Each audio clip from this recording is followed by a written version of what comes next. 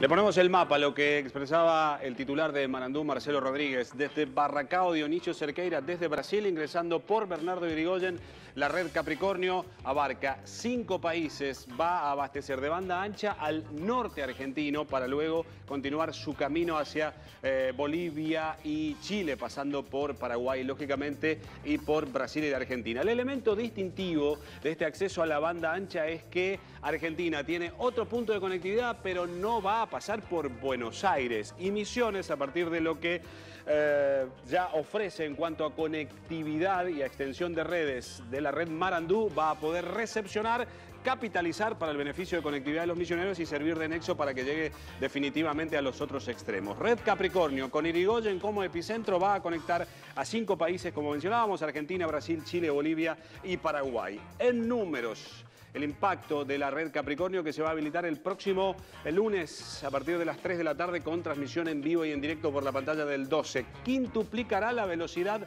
de Internet y va a permitirle contar con esta tecnología a más de 26 millones de personas con 15 mil kilómetros de fibra óptica que van a tener como epicentro a Bernardo Irigoyen, que va a ser el nexo desde la Argentina para abastecer al norte y a eh, cuatro países más. Consideremos que viene desde San Pablo. La red Capricornio expresada en números